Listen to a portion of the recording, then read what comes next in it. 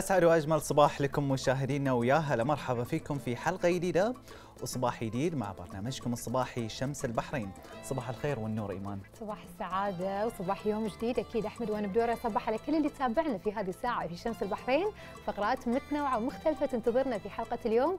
خلينا نبتدي حلقتنا بأهم ما تداولته صحف البحرين في هذا الصباح. وأول خبر معك أحمد. نعم أول خبر طبعا راح يكون في هذا الصباح من يوم الأربعاء 28 فبراير لعام 2018 أول خبر راح يكون من صحيفة البلاد. حيث تفضل صاحب السمو الملكي الأمير خليفة بن سلمان آل خليفة بفتح فندق جميرة رويال سراي البحرين حيث قال سموه أن ما تشهده البحرين من توسع في إنشاء العديد من المرافق والمنتجعات السياحية يجسد ما تتمتع به البحرين من بيئة مثالية للاستثمار في القطاع السياحي والفندقي. وما تحظى به من مكانه متميزه على الخارطة السياحية الإقليمية والدولية. نعم أحمد من صحيفة البلاد ننتقل إلى صحيفة أخبار الخليج. افتتح السيد هشام بن محمد الجودر وزير شؤون الشباب والرياضة معرض جائزة الملك حمد لتمكين الشباب لتحقيق أهداف التنمية المستدامة والذي أقيم في مجمع السيف التجاري. وذلك بحضور المهندس خالد عبد العزيز وزير شؤون الشباب والرياضة بجمهورية مصر العربية وأعضاء لجنة التحكيم العليا والفائزين. في هذه الجائزة. والحين نروح إلى صفحات الأيام إيمان وخبر يقول عقد الاجتماع الدوري التنسيقي بين مستشفى الملك حمد الجامعي ووزارة الصحة مجمع السلمانية الطبي وذلك بحضور اللواء طبيب الشيخ سلمان بن عطية الله آل خليفة قائد المستشفى. وناقش الاجتماع عددا من المواضيع المهمة التي تهدف إلى تعزيز التعاون المشترك في المجالات الطبية والإدارية مما يحقق خدمات طبية أفضل للمواطنين والمقيمين وبالأخص المواضيع المتعلقة بمركز الملك حمد لعلاج الأورام. نعم أحمد. أحمد تحب مجلة ماجد؟ إي يوم كنا صغار. أنا كنت أموت على مجلة ماجد. أنا كنت أشتريها كل أربعة يعني حتى لو وصلت من المرحلة الإعدادية وأنا كنت الله. أقراها. يعني حتى كانوا يقولون لي أنت وايد كبيرة على المجلة بس كنت أحبها. تستقبل مجلة ماجد عامها الأربعين بعدد متميز شكلا ومضمونا سيصدر اليوم الأربعاء 28 فبراير ليشكل محطة فارقة في مسيرة دؤوبة توجتها على عرش صحافة الطفل. وألهمت عقول وقلوب مئات الآلاف من أطفال الإمارات والعرب بتقديمها محتوى هادفا جديدا ومتنوعا يسعى إلى إثراء الثقافة والمعرفة لدى أصدقاء المجلة وقراءها كما تستقبل المجلة عامها الجديد بباقة مختارة من الأبواب والشخصيات الجديدة التي ستحل ضيفة على صفحاتها لتنال إعجاب قراءها ورضاهم. أتمنى أهم شيء ما يغيرون موزة الحبوبة أهم شيء. ولا يغيرون ال- ال- المعلومات اللي كانوا يحطونها عن الفضاء. فعلا كانت معلومات غيمة يعني إيمان. في خبرنا الأخير الصراحه أول ما قريته استغربت وقلت شو السالفة؟ بس عقب حاولت إني أفهم الموضوع. خبرنا يقول إيمان في فرنسا من حق الموظف البردان ترك العمل والعودة لمنزله فورا. لماذا؟ لأن فرنسا تشهد موجة برد قارس لم تشهدها البلاد منذ 13 عام مما أدى إلى مقتل ثلاثة أشخاص حتى الآن. والجدير بالذكر أن قانون العمل الفرنسي يسمح للمواطنين للموظفين والعمال ترك عملهم على الفور والعودة لمنازلهم من دون التأثير على حقوقهم المالية أو الإدارية يعني أحمد يمكن هم يمرون بموجة برد وصقيع لكن إحنا أيضا الم... يعني. نمر بنفس الموجة في الاستديو. الاستديو وايد بارد مشاهدينا بكذي نكون اختتمنا فقرات صحفنا لهذا الصباح أما الحين ننتقل لفقرتنا أو تقريرنا الأول. أقيمت بطولة البحرين لصناعة الرجل الالي في نسختها الرابعه بدعم مميز من وزارة التربية والتعليم ومحافظة العاصمة بمشاركة نخبة من مختلف طلبة البحرين. تفاصيل أكثر نشوفها في التقرير الجاي ونرجع لكم في الاستديو. البطولة المميزة لهذا العام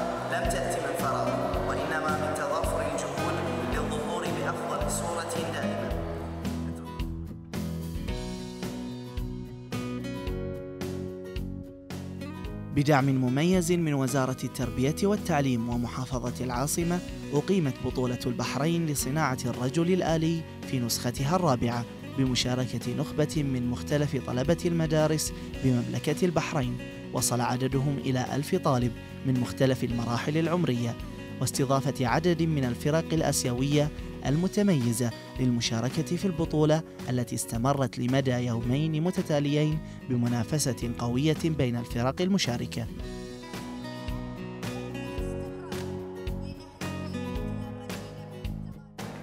طبعا وزارة التربية والتعليم لا تألو جهدا في تعزيز آه، العديد من آه، القيم والمفاهيم وأيضا الجوانب اللي تحتاج إلى رعاية.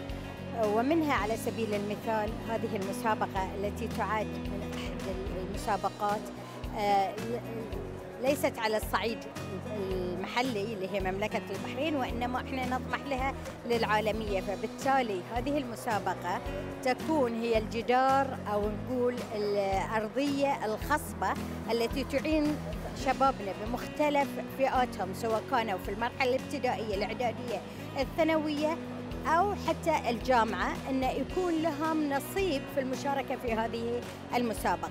مدرسة الإبداع أولا يعني كانت تشارك في هاي المسابقة من آه، من 2011 والحمد لله وجدنا أثرها على الطلبة والطالبات عندنا من الجوانب الأكاديمية أو من الجوانب السلوكية والناحية الشخصية. كانت تنمي عندهم الثقة بالنفس آه، التخطيط الاستراتيجي المحتوى الأكاديمي نفسه.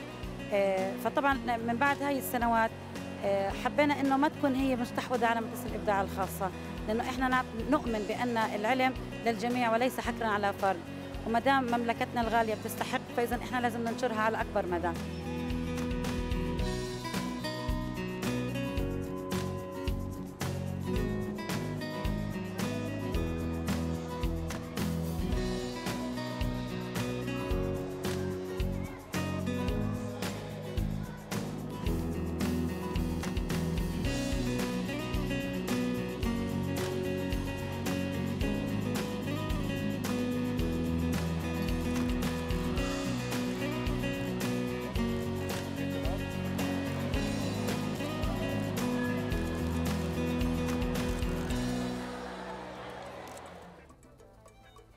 رجعنا لكم مشاهدينا الأعزاء وعشان نتعرف أكثر على مخرجات بطولة البحرين الرابعة لصناعة الرجل الآلي تسعدنا استضافة شذا فريد علي رئيسة لجنة العلاقات العامة في بطولة البحرين لصناعة الرجل الآلي وآلاء صالح العلي رئيسة لجنة أرض الموقع في البطولة. صبحكم الله بالخير وحياكم الله معنا. صباح النور. يا هلا مرحبا فيكم. راح أبتدي معاك يعني شذا في البداية مثل ما نعرف من خلال دعمكم للتوجه لهذا النوع من خلينا نقول المشاريع أو لهذا النوع من المسابقات اللي هي التوجه لصناعة الروبوتات. خلينا نتكلم عن مثل ما نعرف أن هذه هي النسخة الرابعة لهذا المسابقة. فكلمينا سببكم المستمر والهدف من هذه البطولة أو المسابقة. آه طبعا في البداية أحب أشكركم على هاي الاستضافة الحلوة. البطولة آه، يتم آه، تنظيمها سنويا من قبل مدرسة الإبداع الخاصة. وأحب أشكر الأستاذة منى سليم آه، رئيسة الرئيس التنفيذي للبطولة على جهودها المستمرة عشان تنظم البطولة سنويا. نعم. طبعا الهدف من البطولة اللي يعني دائما عشان تسعون له دائما إيه يكون عادة إن إحنا نبي نبني في في الطلبة العديد من المهارات. جميل. أوكي. آه، الطالب يتعلم على المستوى الفردي وعلى المستوى الجماعي. آه، المستوى الفردي نحاول إن الطالب يتعلم آه، مهارات القيادة. طبعا المهارات العلمية المختلفة لأن اسس البطولة مبنية على مبادئ STEM اللي هي science technology engineering mathematics فالطالب يختبر عشان يتعلم. جميل فهذا الشيء يعطيكم دافع إيه صح. زين والهدف الأسمى والأهم عندنا إن إحنا نرفع اسم بلادنا. البطولة طبعا بعد ما تنتهي في البحرين هاي البطولة المحلية آه، الطلبة الفايزين يتأهلون إلى البطولة العالمية في أمريكا اللي تقام في شهر إبريل من كل سنة. جميل. ففخر لنا إن آه، طلباتنا وأبنائنا في البحرين يروحون هناك ويمثلون ديرتنا صحيح. نعم. انتقل لك أختي آلاء بما إنك يعني رئيسة لجنة أرض موقع. فشلون شفتي يعني انطباعات المشاركين في هذه البطولة ومدى إقبال طبعا الحضور لهذه البطولة أيضا؟ طبعا مثل ما يصير في كل البطولات وكل المنافسات أنت ما بتقدر ترضي الكل لأن أكيد دائما في في فريق فايز وفي فريق خسران. نعم أكيد. لكن إحنا اللي نقدر نضمنه أكيد أن أنت كل الطلبة بيطلعون من هاي البطولة بالإستفادة الكافية والمهارات اللي بيكتسبونها. وطبعا مثل ما ما يخفى عليكم الأجواء عندنا تكون وايد حماسية وإقبال الجمهور عندنا كل سنة يكون أزيد من السنة اللي قبلها بما أن هاي النسخة الرابعة عندنا. نعم. جميل. يعني شذا يمكن ذكرت الاء نقطة الأعداد قاعد تتزايد سنة عن سنة، يعني قاعد نشوف إن في مشاركات جدا كبيرة هذه السنة، لكن لما نتكلم عن أعداد الفرق المشاركة بين العام وبين هالسنة، إيش كثر في فرق بينهم؟ آه، طبعا عدد الفرق يزيد سنة عن سنة والسبب يعود إلى أن المدارس آه، قاعدة تحس بهاي التنافس. المدارس بدأت تتنافس أن هي تبي توصل إلى البطولة العالمية في أمريكا. فبدينا السنوات الأولى كان عدد الفرق 50 فريق ما بين مدارس حكومية ومدارس خاصة ومؤسسات آه، شبابية عندنا. فهالسنة آه، الحمد لله وصلنا إلى 102 فريق مشارك. ما شاء الله الضعف تقريبا. ما شاء الله. إيه. وطبعا المدارس اللي كانت تشارك مثلا بفريق واحد السنة اللي طافت هالسنة دخلت بفريقين وأكثر نعم. فالتنافس قاعد يزيد بين المدارس وهي شيء وايد حلو عندنا في البطولة من البطولة لقيت يعني صدى جدا كبير من خلال نعم. اللي خلت المدارس أيضا تشارك بأعداد كبيرة وفرق نعم مختلفة فعلا ومثل إيه. ما تكلمنا يعني أختي الاء بان المشاركين كانوا طبعا من طلبة المدارس وأعدادهم كانت كبيرة في هذه البطولة، شلون قدرتوا تنسقون معاهم؟ طبعا إذا جينا بنتحكي أول شيء من شغل لجنتنا إحنا طبعا شغالين من قبل ثمان لتسع شهور نحاول منها نخطط وشلون المكان يكون مهيأ حق هاي الطلبة اللي بيونا وشيء ثاني إحنا نتعاون مع الطلبة قبل البطولة من أي ناحية انهم يجون يتدربون عندنا. وهاي الشيء بالتعاون مع مدرسة الإبداع اللي تنظمه طبعا وزارة التربية والتعليم. نعم. يعني شذا يمكن قبل شوي شفنا في التقرير الأستاذ لطيف البنوطه وكيل وزارة التربية والتعليم نعم. ذكرت في التقرير أنه راح يكون هناك في منهج مخصص في المدارس راح يعلم عن الروبوتات. فش فش كثر تحسين إن هذا المنهج ممكن يساهم في يعني البطولة تلاقي صدى ونجاح أكبر من ما هي عليه آه، طبعا بالنسبة حق البطولة أتوقع أن الطلبة لو تعرفوا على أساسيات ومبدأ المبادئ الأساسية في صناعة الروبوتات راح يتشجعون أكثر انهم يشاركون عشان يراون الناس قدراتهم في صناعة الروبوتات جميل. وهاي شيء إحنا وايد متشجعين له إن بنبني جيل آه، مستعد إنه هو آه، يواكب التكنولوجيا اللي قاعد تصير في العالم نعم. فشيء وايد حلو يعني. خطوة وايد نعم. حلوة يعني هذه النسخة الرابعة أختي آلاء لازم كان ان تضيفون إضافة جميلة فيها، أنتم ما راح تقدرون تضيفون على صناعة الروبوتات لأن أنتم كجهة منظمة، ولكن أنتم أضفتوا إضافة للمكان وأيضا للموقع، كلمينا عن هذا الشيء. طبعا من ناحية ترتيب المكان إحنا كلجنة نحاول إن إحنا نوفر الجو الملائم حق الطلبة. طبعا مثل ما يخفى عليكم إحنا السنة عندنا 102 فريق فإحنا حاولنا نخلي المكان يستوعب هاي العدد الهائل من الطلبة. من كذي يعني إذا حتى إحنا خلينا خلينا نقول فعاليات المصاحبة تكون مناسبة حق الجمهور من ناحية الافتتاح والختام عشان الكل يدش معنا في هاي الأجواء الحماسية والمشاركين نفسهم يحسون إن البيئة كلها تكون متناسقة معاهم متناسبة معاهم نعم. نعم يعني آه، يمكن شذا الحلو في الموضوع إن هذه هي النسخة الرابعة للبطولة قاعد نشوف فيه إقبال جدا كبير لكن مم. أكيد قاعد تحضرون أنتم بعد حق النسخة الخامسة من الحين أي. فالاستعدادات أكيد على قدم وساق فشنو اللي راح يكون مختلف في النسخة القادمة؟ آه، طبعا إحنا ما نقدر نحرق أوراقنا من الحين عن النسخة الخامسة آه، بس كل اللي نقدر نقوله إن إن شاء الله النسخة الخامسة راح تكون مختلفة وإحنا الحين في صدد مناقشات إن إحنا ندخل الفئة الجامعية جميل آه، للبطولة فإن شاء الله بتكون هاي إضافة حلوة للبطولة إن إحنا ندخل فئة الطلبة الجامعيين جميل. نعم. وعشان توصلون حق القمة لازم تكون هنالك صعوبات تواجهونها، شنو أبرز الصعوبات اللي واجهتوها خصوصا إن هذه النسخة الرابعة، في نسخ ثلاث قبلها. طبعا أهم صعوبة تواجهنا إن أنت شلون تقدر تسوي بطولة أحسن من السنة اللي قبلها نعم. ويمكن من الصعوبات اللي واجهتنا هاي السنة إن عدد الطلبة وايد عود فالمكان كان شوي يعني خلينا نقول ضيق عليهم أو شلون إحنا بنعطيهم مساحة كافية لانهم اوريدي في البطولة نفسها يحاولون إنهم يعدلون من روبوتاتهم ذي فإحنا نحاول نوفر لهم المكان المناسب وحتى عشان الجمهور يكون في مكان يعني يقدرون يكونون يتحركون فيه بسهولة جميل يكون في. أريحية في. المكان بحيث إن الطلبة ياخذون راحتهم. نعم يعني شذا يمكن مخرجات البطولة مثل ما قاعد نشوفها أكيد ممتازه وفيها مهارات جدا كبيرة أي. لكن نبي نتكلم بالنسبة حق الفائزين أو غير الفائزين من بعد هذه البطولة طبعا مثل ما تفضلت وذكرتي في بطولة أخرى بتقيم في أمريكا وبيروحون أي. إنهم يقدمون فيها هذه الروبوتات لكن آه، هل هناك أيضا جهة هناك تدعمهم من خلال هذه الروبوتات اللي يعملون فيها أكيد. آه، طبعا آه، الخ- هي مجرد خطوة أولى إنهم يروحون للبطولة العالمية. آه، الجامعات وايد تكون حاضرة في هاي البطولات يقدمون منح دراسية للطلبة المتميزين. عندنا حوالي 426 منحة وبعث دراسية تتوزع. هناك تقدر بحوالي 5 ملايين دولار. فهاي خطوة تقدرين تقولين البداية بس. نعم. نعم. غير كذي الطالب اللي يشارك آم، خلال عمله على هاي الروبوتات يبتدي يكتشف ميوله. فهاي يساعده إنه هو يحدد مساره الجامعي. نعم. نعم. ف فهذه فرصة لهم. عشان حتى يعرفون وين هو في أي جانب يبدعون فيه صح. وبعد هذه البطولة أكيد يعرفون. نعم. يعني أختي آلاء ما راح تكتمل هذا النجاح إلا مع وجود جهات أخرى تساندكم وهذا فعلا اللي صار. كلمينا عن الجهات وعن دورهم وتعاونكم تعاونهم وياكم في هذه البطولة. اولا أحب أشكر وزارة التربية والتعليم والداعم الأول لنا سعادة الدكتور موجد النعيمي على دعمه لهذه البطولة على السنة الرابعه على التوالي وحث الطلبة على المشاركة في هذه البطولة. وطبعا ما ما ننسى محافظ العاصمة الشيخ هشام الخليفة نحب نشكره على دعمه على دعمه دا- الدائم لنا وعلى الرعاية الاستراتيجية لنا. وطبعا مثل ما صرحت من قبل الأستاذة لطيفة البنوضة انه بتكون في مناهج دراسية تدعم جميل آه هاي البطولة فأكيد يعني أن هذه كلها بيكون هو العائد على الدعم لنا. نعم شيء جميل إضافة المناهج الدراسية إيمان صح في هذه البطولة. نعم يعني شذا يمكن أنت ذكرتي في بداية الحديث وبداية اللقاء إن يعني يمكن تعززي هذه البطولة تعزز من مهارات الطلبة وأيضا في روح في المشاركة راح تكون من. ضمن الفريق، شلون شفتي المنافسة بين الفريق بين الفريق الأول والفريق الثاني والثالث؟ شلون شلون شفتي هذه الحماس وهذا الشعور بين الطلبة؟ آه، طبعا كل الفرق اللي تشارك يكون آه، هدفها إن. هي توصل إلى ال- البطولة العالمية نعم يعني هم بيروحون هناك وبينافسون أبطال عالميين نعم.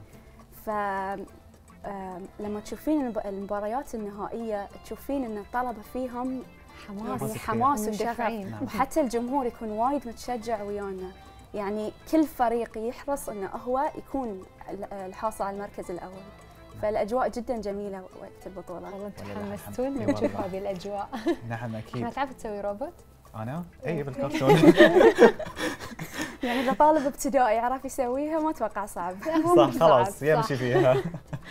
شذا فريد علي رئيسة لجنة العلاقات العامة في بطولة البحرين لصناعة الرج الآلي وآلاء صالح العلي رئيسة لجنة أرض الموقع في البطولة. كل الشكر على تواجدكم وحضوركم بالتوفيق إن شاء الله. إن شاء الله. يعطيكم ألف عافية. فاصل قصير وراجعين نستكمل باقي فقرات حلقة الأربعاء في شمس البحرين. لا تروحون بعيد.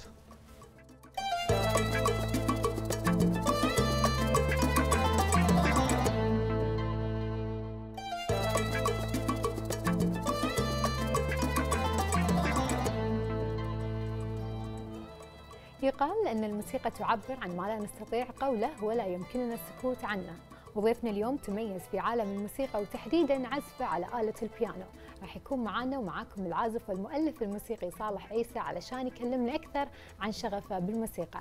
صباح الخير. صباح النور يا هلا. يا هلا مرحبا فيك. يعني الموسيقى ما شاء الله بحرها عود وكبير للي يحب هذا المجال. بس في البداية حابين نعرف متى بدأ اهتمامك بالموسيقى وش اللي شدك بآلة البيانو تحديدا؟ آه أنا بداياتي كانت آه، في يعني المرحلة الابتدائية. في ذاك الوقت أنا كنت ألتحق في ال- الأندية الموسيقية في جميع المراحل طبعا الدراسية. التحقت أيضا في مركز سلمان الثقافي. للأطفال. نعم. فتميزت في مجال الموسيقى. كنت أشوف آلة البيانو وكنت أحب دائما إن أعزف آه، عليه. هاي من يوم أنا كنت طفل صغير يعني. آه، صوتها جميل جدا وأجد نفسي يعني قريب جدا لهذه الآلة. اله البيانو جميل. يعني لك لك مشاركات كثيرة يمكن داخل مملكة البحرين وخارج مملكة البحرين. فكلمنا عن هذه المشاركات وشنو أضافت لك؟ آه، طبعا يعني هذه المشاركات أنا اللي يعني أحس إن المهم إن إحنا نبرز البعد الثقافي والفني آه، للشاب البحريني. نعم. الحمد لله يعني هذه المشاركات كانت يعني كنت ضمن وفد البحرين في مهرجانات موسيقية. مثلا في آه، مهرجان آه، بجامعة جنوب الوادي في مصر نعم. وكذلك آه، عزفنا في مدينة سوسة في تونس. نعم. والعديد يعني من ال- المشاركات وبعضها أيضا في داخل آه، البحرين. نعم. يعني في الافتتاحات الرسمية مثلا للمجمعات التجارية آه، في عام 2008 بحضور سمو ولي العهد الأمين. وكذلك في معرض الفنون التشكيلية. لأكثر من مرة تحت رعاية سمو رئيس الوزراء الموقر وطبعا أهم مشاركة عندي اللي دائما دائما أعتز فيها هي ال- العزف في المعرض المصاحب احتفالات المملكة بالعيد الوطني المجيد نعم. كان عام 2012 16 ديسمبر 2012 بحضور آه، قادة البلاد آه، حفظهم الله ورعاهم في جامعة البحرين. نعم. هذه طبعا أهم وأكثر استضافة أنا آه، عفواً، من أكثر المشاركات مشاركة اللي أنا. كانت قريبة منك. قريبة جدا نعم. جدا أعتز فيها. نعم يعني أخوي صالح جميل في الموضوع إن أنت ما اقتصرت فقط على العزف على البيانو تطورت أكثر وقمت تألف أيضا الموسيقى. كلمنا عن تجربتك الأولى في التأليف. آه، يعني عندي أنا في جانب التأليف مثلا آه، في يوم من الأيام أنا ألفت الموسيقى التصويرية لفيلم حكاية آه، عفوا آه، فيلم حكاية إنجازات. نعم. آه، أنا ذاك اللي دشنت آه، المؤسسة العامة للشباب بالرياضة نعم. آه، برعاية آه، معالي الشيخ فواز أنا ذاك. ف يعني حلو إن إحنا نوظف مهاراتنا إمكانياتنا سواء كانت موسيقية أو اي أو في أي مجال آخر. نعم. في يعني نوظفها لصالح وخدمة آه، البلد فأنا جدا أعتز بالمشاركات الوطنية يعني حتى في المشاركات الخارجية سواء موسيقية أو غير موسيقية مثلا كنت وفد آه، الجامعة جامعة نعم. البحرين آه، يوم كنت طالب يعني رحنا الصين ما كانت مشاركة موسيقية كانت مثلا أول هي أول زيارة لمؤسسات التعليم العالي لدول مجلس التعاون نعم. الخليجي مهم. فشفت أنا آلة البيانو في آه، جامعة آه، بيجينغ. فعزفت لهم شيء مثلا من تراثهم. الصيني وعزفت شيء من آه، تراثنا البحريني. البحريني. جميل حلو هاي شيء يعني الحمد لله شلون شفت. التفاعل يوم سمعوا. التراث البحريني استانسوا وايد يعني عجبهم واستغربوا إنه أنا عزفت شيء من تراثهم آه، الصيني أيضا كنت محضر لهم أكيد أنا كنت محاضر لأن بروح الصين فصدق هي ما كان لها علاقة في الموسيقى. لأن أخذنا يعني امتحانات مقابلات آه،. آه، بالعربي وبالإنجليزي حلو. فالحمد لله وفقت يعني وكنت ضمن وفد الجامعة. والحمد لله أيضا بعد تم تكريمي من قبل آه، جامعة الدول العربية بميدالية بيت العرب الذهبية. هاي بعد شيء أنا أحتز فيه. وعام 2004 آه، طلعت المركز الأول في فئتي العمرية في. والعزف ما على آه، البيانو. حتى أن أنا امتلكت آلة بيانو من شخص مجهول إلى هذه اللحظة. ما شاء الله. ما تعرف من مين. إلى هذه يعني حتى ذي اللحظة أنا ما أعرف من. وطبعا آه، هي يعني كانت من الحضور. في ختام مهرجان آه، الطفل للثقافه والفنون من في حفل التكريم نفسه. نعم. فعرفوا ان أنا ما عندي آلة بيانو. وذاك الوقت أنا طالب يعني في صح. المدرسة. صعب كنت إني أوفر لي آلة آه، البيانو. فالحمد لله. بس أكيد هذا الشيء دفعهم إنهم يقدمون لك هذه الآلة شافوا فيك هذه الموهبة وهذه الروح لله. الموسيقية لأنه هو الجميلة. يستاهل صالح يعني لأنه مبدع. الله يسلمك. وحتى الوالد طبعا ما قصر ووالدتي ما قصرت وياي. كان والدي يجيب لي أول شيء keyboard صغير. إنزين. فيقول لي إذا تفوقت بشتري لك أورج أكبر. اكبر اي الله. هاي البدايات تشجيع بعد ما شاء الله.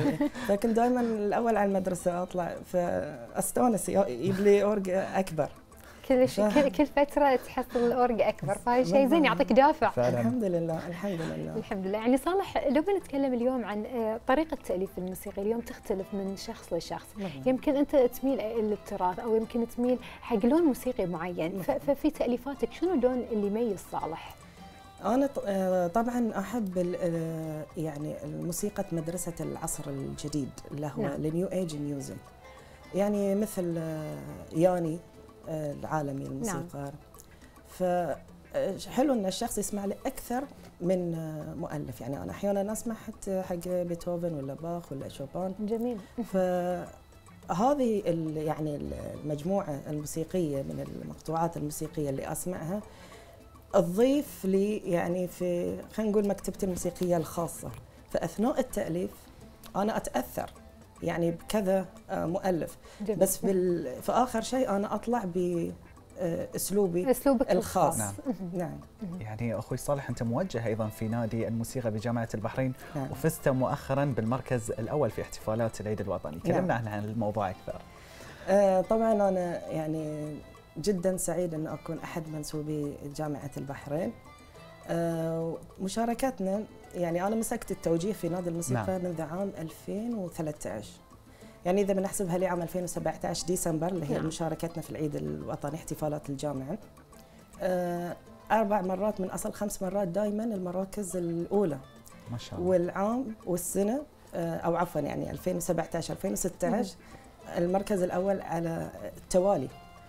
هذه نتاج تضافر الجهود وروح العمل الجماعي لدى أسرة نادي الموسيقى نعم. طلابي أنا وايد أحبهم وايد اعتز فيهم فدائما إذا نعمل مع بعض أو نشتغل في مع بعض يعني نشتغل عفوا مع بعض دائما نحط أهداف نعم. واضحة هي حب البحرين جميل. حب ملكنا حب قيادتنا شك. حب شعب البحرين فكلنا نجسد هذه الحب وهذا الولاء من خلال الأغاني الوطنية اللي تتغنى بالبحرين وطنا وشعبا وقيادة أي والله. بالتاكيد نعم. فهذا شيء جميل جدا يعني وحلو بعد إن ال- العفوية اللي عندنا يعني ما عندنا الجو الرسميات يمكن أمام الناس جو رسمي. صح. بس بيننا وبين بعض لا يعني. ألفة وتواد ألفة ومحبة ووئام. نعم شيء جميل. يعني صالح يمكن ذكرت نقطة بأنه يمكن من يوم أنت كنت صغير كنت تحب دائما تعزف ويمكن يكتشفوا أهلك هذه الموهبة. نعم. آه، اليوم نقدر نقول أن صالح يعني تع- تعلم منذ الصغر لكن هل دعم أيضا موهبته هذه بالدراسة؟ نعم يعني أنا حصلت على منحة. آه، لدراسة ال- البيانو والنوتة الموسيقية في معهد البحرين للموسيقى. فهذه يعني دورات تخصصية نعم. في مجال آه، شو اسمه أما في المجال ال- الأكاديمي أنا يعني مؤخرا الفصل ذي اللي طاف آه، تخرجت بالحمد لله ماجستير بامتياز ما شاء الله. في إدارة الأعمال من جامعة البحرين نعم حلو يعني حلو إن الإنسان ما يعني ما يكون بس في مجال واحد حلو مم. يطور من مهارته سواء في الهواية أو في المجال صحيح الأكاديمي. صحيح. نعم أخوي صالح ومن هم الموسيقيين الملهمين بالنسبة لك؟ طبعا في وايد آه، بس أنا أحب يعني أسمع آه، لأكثر من شخص على أساس ان أطور من نفسي. أكيد. إنزين فمثلا يعني ياني جورج وينستون باخ آه، بيتهوفن شوبان وكذلك أحب أسمع الأغاني اللي هو الأغاني التجارية مم. أيضا. نعم. يعني فيها ألحان حلوة. أقدر آخذ أفكار منها وبعدين أبتدي أنا في آه، التأليف. وأنا أحب أيضا الارتجال. حلو. حلو. يعني في أذكر مرة في فعالية عزفت آه، أربع ساعات متواصلة. من. غير توقف وكان ارتجال. نعم. نعم. يعني صالح لو بنتكلم عن عن طموحك أكيد وخططك المستقبلية في هذا المجال شنو راح شنو شنو حاط في بالك؟ شنو الحلم اللي تبي توصله في المجال الموسيقي؟ أنا طبعا يعني طموحي آه، ما يحدها سقف. إنزين آه، بالنسبة على المجال الموسيقي. نعم. أنا أشوف إن يعني عندي القدرة على التأليف وعندي القدرة على إقامة أمسيات أو أسبوعات موسيقية. فأنا أتمنى يوم من الأيام إن أعزف في مسرح البحرين الوطني أعزف مؤلفاتي أنا جميل. آه، الشخصية على آلة البيانو وتكون هدية ل- للناس آه، للسواح لكل من هي البحرين. يشوف والله البحرين فيها كوادر فتية مؤهلة قادرة مبدعة. أما في مجال آه، مثلا ال- الأكاديمي مثل ما قلت الحمد لله وأنا درست وحصلت على الماجستير. وحاليا بتوقف شوي ويمكن مستقبلا بعد اواصل نعم في مجال الإعلام أنا أيضا جدا جدا أحب آه، يعني تقديم البرامج التلفزيونية نعم يعني قدمت في تلفزيون بحرين العديد من البرامج برامج. منها مهم. آه، مهرجان التراث الحادي عشر للألعاب نعم. الشعبية كنت تحت رعاية جلالة الملك كنت مراسل في التقارير الخارجية وأيضا في مراسل تقارير خارجية أو فقرة نافذة إبداعات في برنامج باب البحرين نعم. وبرنامج هنا البحرين برنامج إجازتكم برنامج الأطفال. وكان مؤخرا بعد اللي هو برنامج مواهبنا كنت آه، أستضيف آه، أطفال آه، موهوبين. نعم. فأنا أحب جدا يعني يعني تحب المجال الإعلامي لك الإعلامي العديد من. المواهب يعني أتمنى يوم من. الأيام أشوف روحي معاكم قاعد هنا إن شاء الله إن شاء الله بإذن الله. صالح لو بسألك سؤال هل فكرت تتعاون مع فنانين تلحن لهم بعض الأعمال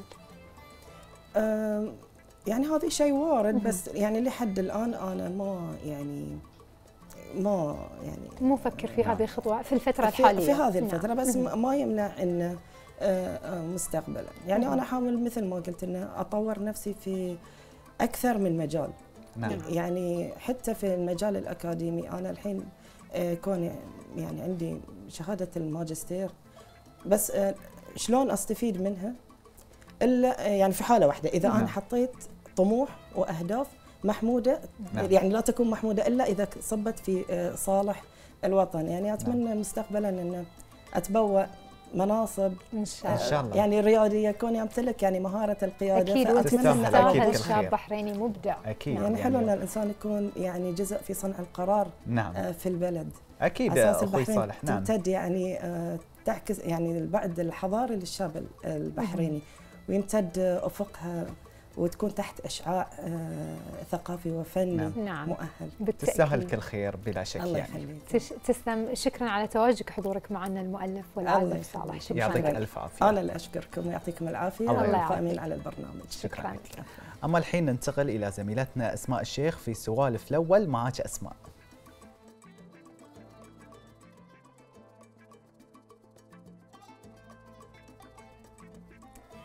مرحبا فيكم مشاهدينا. يتميز المطبخ البحريني بنكهاته ومذاقه الخاص. لكن السؤال هو أيام قبل هل اختلفت الأكلات البحرينية عن مذاقها الحين ولا لا؟ هذه كلها بنتعرف عليه مع الأستاذة دلال الشروقي ضيفتي في الاستوديو اليوم. أه صباحك الله بالخير. بالنور السلامة أه، أستاذة دلال أه خلينا نرجع شوي ونتكلم عن المطبخ البحريني في السابق. شنو الأكلات اللي كانت مشهورة في ذاك الوقت؟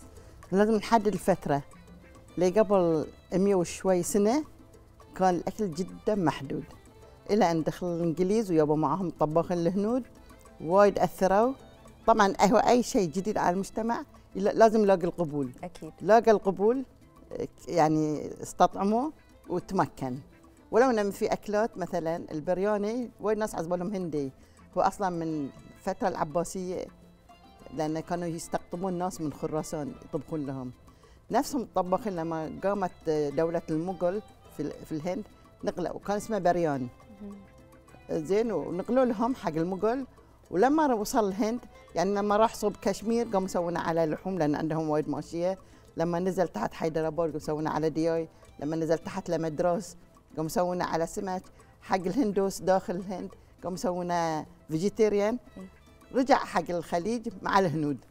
وسم إحنا سمينا برياني إي يعني صار مزيج بين الثقافات في الأكل. إي بس اللي بوصل له إن إحنا كان أصل عربي البرياني حلو. هو هو يعني رز مطيب بال- بالمطايب اللي هو الزعفران والهيل وماء الورد. هذه يعني فترة ازدهار الدولة العباسية هم استقطبوا ال- الخراسانيين يطبخون لهم كطباخين. إيه.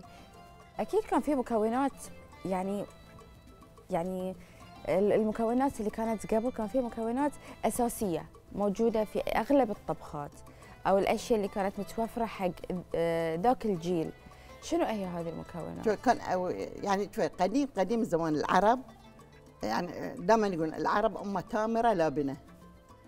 يحلبون يسوون لبن من اللبن يطلعون ليقة يطلعون الزبد. وكان يعني كمسافر عربي يعني معاه اليقط والتمر شيء ما يخرب. زين وكذلك يعني حق اللي الحضر امه شاحمة ولاحمة. يأكلون لحم ويقطعون الشحم وشيء يذوبونه إيه. يسوونه كدهن وشيء يقطعونه ينشفونه اللي هو الخلع ويستعملونه كيدم. وكذلك الجراد والضباء الجراد بعد نشفونه وطحنونه ويستعملونه. إحنا أهل بحر. أهل إيه. البحر لا جففوا السمك وجففوا الربيان آه، وال- والبقوليات. يعني حتى إحنا البحرين على رقعتها الصغيرة ال- مناطق القرى يأكلون بيض يأكلون دياي أكثر. مناطق الساحلية طبعا يأكلون سمك.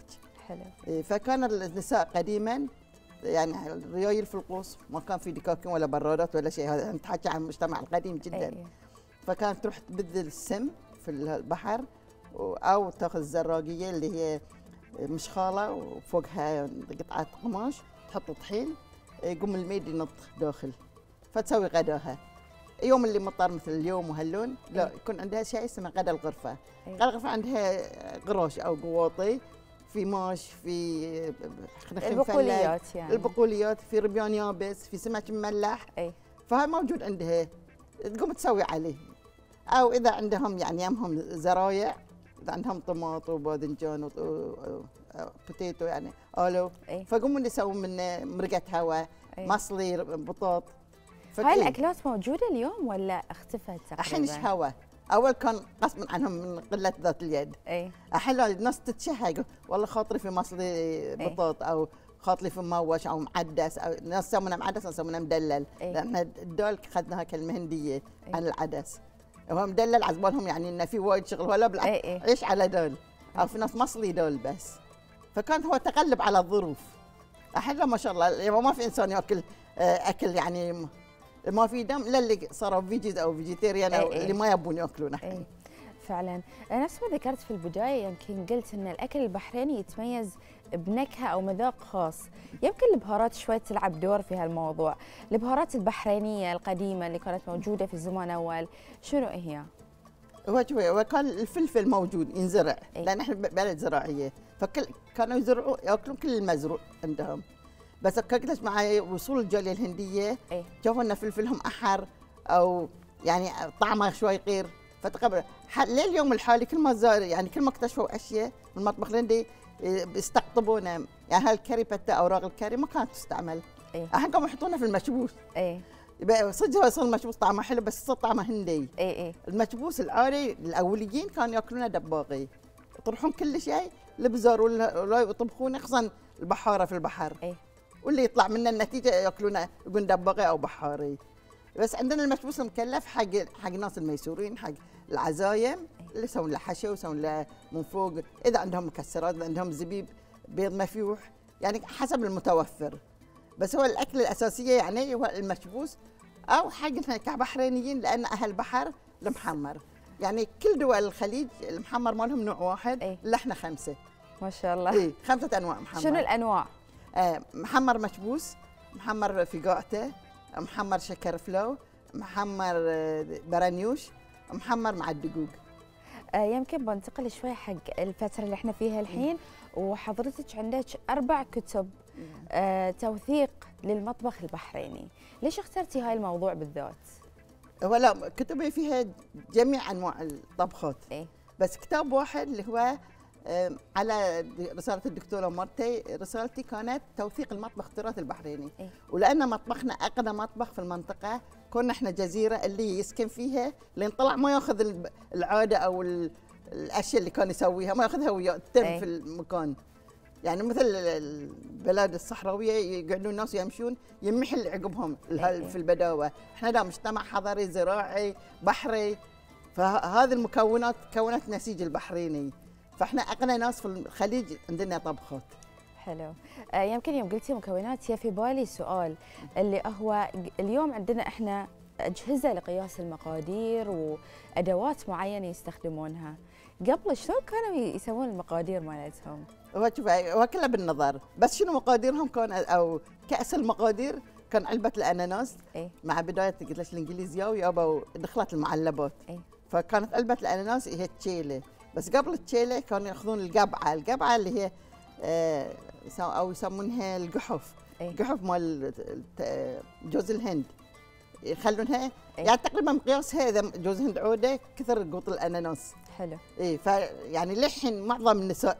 اللي أكبر مني مستحيل تحط الكاس القياسي. لا. تستخدم الأشياء إيه، القديمة. إيه.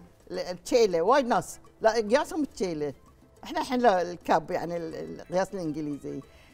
حلو. آه يعطيك العافية ونورتينا اليوم في الاستوديو الله يمكن أسواق البحرين اليوم والسوبر ماركت وفي أسواق معينة حق المأكولات والمطاعم البحرينية. في السابق ما كانت موجودة بس اليوم إيه. تعرفنا معاك على الأشياء اللي كانت موجودة في السابق أنا يعني يعطيك أنا. بنتي أول مطعم بحريني. ما شاء الله من يوم اللي فتحت كمطعم بحريني يقدم ريوق بحريني.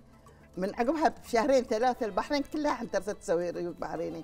وايد يسعدني إنه ما يعني ما يضايق بالعكس. أي أكيد. لأن لأن وأنا. أقدم الدكتورة اللي كنت آخذ ايلتس فيسألني ال- ال- المختبر يقول لي آه، في أك... في أط...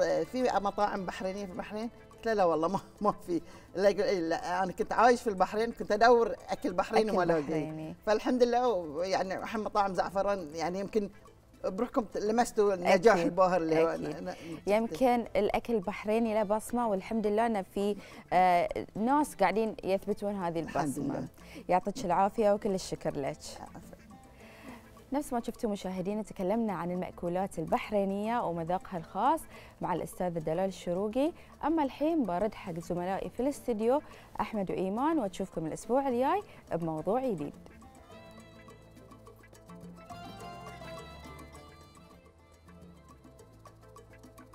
طبعا نشكر زميلتنا أسماء الشيخ وأيضا ضيفتها دلال الشروقي على هذه الفقرة الحلوة وعلى سوالف الأول الجميلة فعلا.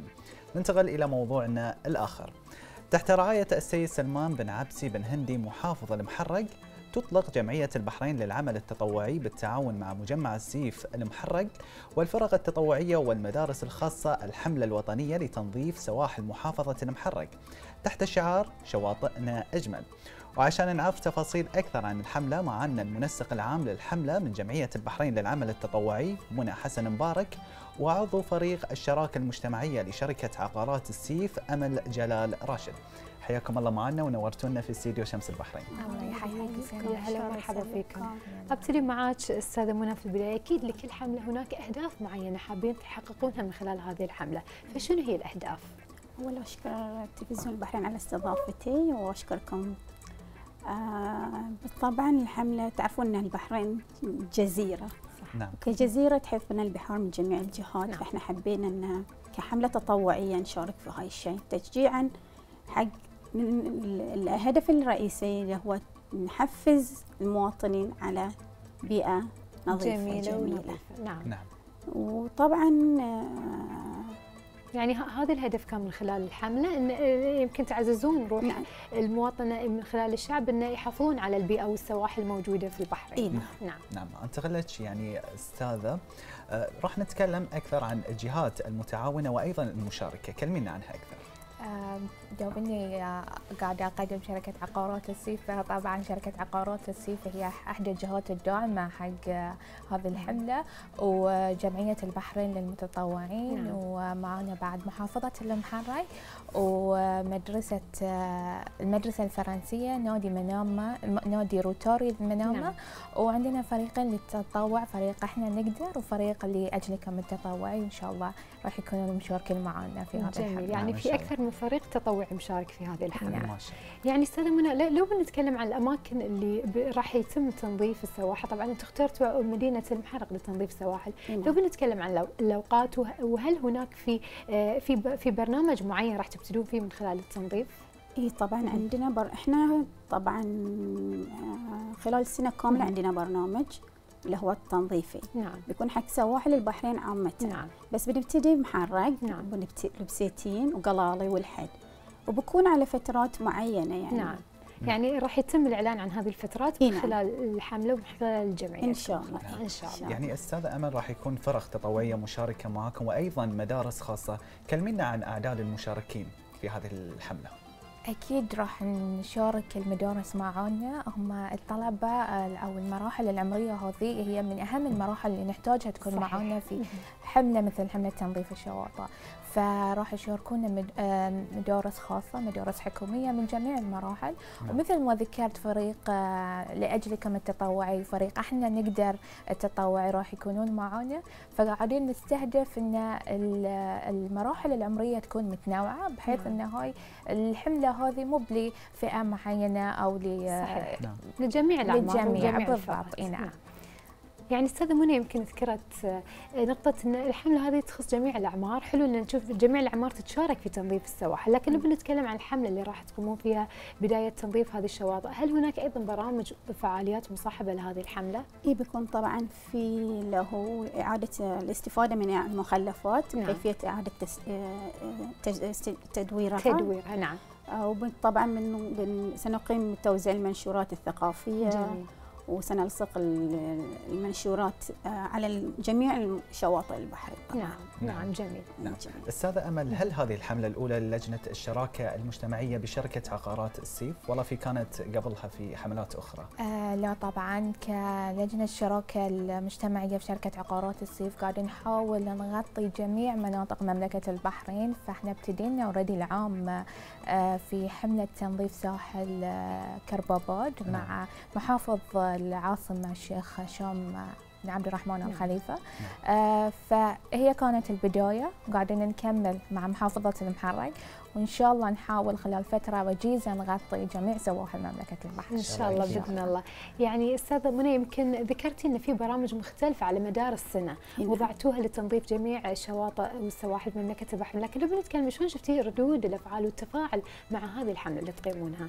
طبعا عندنا مشاركات كثيرة ياتنا إحنا كنا مستهدفين 100 شخص طبعا. نعم. والحين العدد وصل ل 140 وقاعد في عدد ازدياد. نعم. نعم ف كان في في اقبال في إقبال كثير نعم من جميع من جميع المراحل المراحل والأعمار والأعمار. كان في شباب أكثر يعني تشوف يمكن الشباب هم يحبون هذه الأمور أكثر إي فإحنا مم. كجمعية تطوعية حبينا أصلا إن إحنا نزرع فيهم حب الروح. هذه نعم. الروح حب التطوع الحي- يعني إن ننتج ناخذ من طاقتهم الطاقة اللي هم ياخذوا يحطونها في شيء تطوعي مو على أساس إنه مثلا شيء مادي لا. يحسوا إنه شيء تطوعي وفي النهاية هم. قاعد يعطون الوطن وطن. نعم، أكيد. نعم حبهم للوطن هو هو الشيء اللي يجذبهم لذي الشيء فعلا ما شاء الله شباب وطاقتهم يعني كبيرة فشيء حلو آه، شيء من قلبهم يبونه فعلا فعلا لو نتكلم عن طبيعة عمل لجنة الشراكه المجتمعية بشركة عقارات السيف كلمينا عن طبيعة عملها أكثر. آه طبعا لجنة الشراكة المجتمعية في شركة عقارات السيف كانت موجودة من تأسيس الشركة نفسها نعم. عام 1999 آه تحت مسمى اللجنة الخيرية في وقتها. آه في 2015 آه تم طرح أن تكون آه تم تغيير مسمى اللجنة إلى لجنة الشراكة المجتمعية. نعم. آه، في عندنا اللجنة الرئيسية اللي هي مكونة من آه، أعضاء آه، إدارة المجلس واللجنة الفرعية اللي هي مكونة من موظفي الشركة.